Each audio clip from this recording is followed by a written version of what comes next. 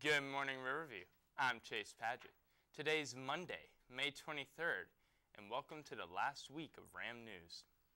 National Honor Society seniors, your honor stoles or cords are now available in Dr. Ekstrom's room, 5124. Please pick up your stole or your cord after school as soon as possible.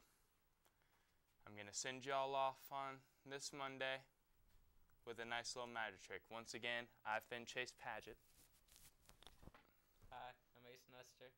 and this is Ace Nestor. Have a great day, Riverview.